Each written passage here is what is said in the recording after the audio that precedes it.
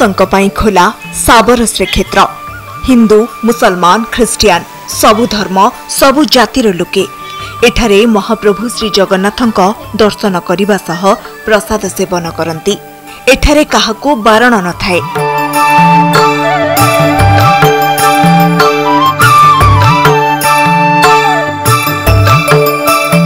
ଆଦିବାସୀ ପରମ୍ପରା ଓ ରୀତିନୀତି ଅନୁସାରେ ପୂଜା ପାଆନ୍ତି କାଳିଆ ସାଆନ୍ତ ସବୁଠାରୁ ବଡ଼ କଥା ହେଉଛି ରଥଯାତ୍ରା ସମୟରେ ପ୍ରଥମ ପନ୍ଦର ଦିନ ଶବରମାନେ ମହାପ୍ରଭୁଙ୍କ ମୁଖ୍ୟ ପୂଜା କରିଥାନ୍ତି। ଏହାପରେ ବ୍ରାହ୍ମଣମାନେ ପରବର୍ତ୍ତୀ ଦାୟିତ୍ୱ ତୁଲାଇଥାନ୍ତି।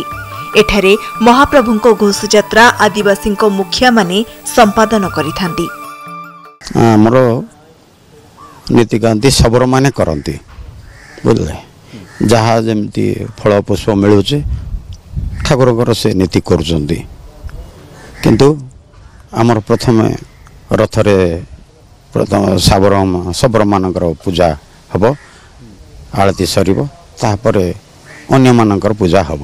ମୁଁ ପିଲାବେଳଠୁ ଦେଖି ଆସୁଛି ବାସ୍ତରୀ ମସିହାଠୁ ଅଠର ମସିହା ପର୍ଯ୍ୟନ୍ତ ଗୋଟିଏ ରଥରେ ହିଁ ତିନି ଠାକୁର ଚତୁର୍ଦ୍ଧା ମୂର୍ତ୍ତି ବିରାଜମାନ ହୋଇ ରଥଯାତ୍ରାଟା ଆରମ୍ଭ କରୁଥିଲେ କିନ୍ତୁ ବର୍ତ୍ତମାନ ଉଣେଇଶ ମସିହା ଠାରୁ ବର୍ତ୍ତମାନ ପର୍ଯ୍ୟନ୍ତ ତିନି ଗୋଟି ରଥ ଏଠି ହେଇଛି।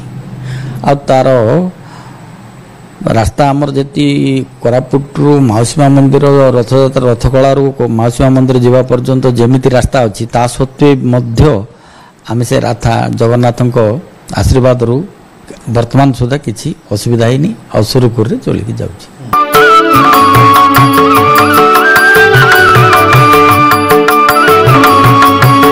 ସାବର ଶ୍ରୀକ୍ଷେତ୍ରରେ ରଥଯାତ୍ରା ସମୟରେ ଏକ ନିଆରା ପରମ୍ପରା ଦେଖିବାକୁ ମିଳେ। ଦୁଇହଜାର ଅଠର ମସିହାରୁ ଏଠାରେ ତିନିଟି ରଥ ନିର୍ମାଣ ହୋଇ ରଥଟଣା ହେଉଛି।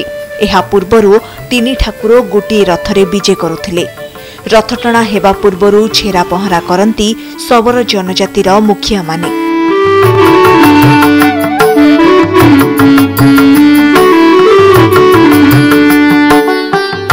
ତିନି ରଥ ପାଇଁ ତିନି ଜଣ ନାୟକ ବା ଗାଁ ମୁଖିଆ ରୁହନ୍ତି। ଉଣେଇଶହ ବାସ୍ତୋରି ମସିହାରେ କୋରାପୁଟରେ ପ୍ରଭୁ ଜଗନ୍ନାଥଙ୍କ ମନ୍ଦିର ପ୍ରତିଷ୍ଠା ହୋଇଥିଲା। ଦାରୁବ୍ରହ୍ମଙ୍କୁ ପ୍ରଥମେ ଶବରମାନେ ପୂଜା କରୁଥିବାରୁ ସେହି ପରମ୍ପରାକୁ ବଜାୟ ରଖିବା ପାଇଁ ରଥଯାତ୍ରା ସମୟରେ ଆଦିବାସୀମାନେ ସବୁ ଦାୟିତ୍ୱ ତୁଲାଇଥାନ୍ତି। ଏଇଠି ତ ଆମେ ନୂଆରେ କରାହେଲା ଏଠି ଏଠି ସତୁରି ଦଶକର ପ୍ରାରମ୍ଭରେ ହିଁ ଜଗନ୍ନାଥ ଆସିଲେ ଗୋଟେ ଦୃଷ୍ଟି ଦେଖିଲେ ଆନୁଷ୍ଠାନିକ ଭାବରେ କୋରାପୁଟକୁ।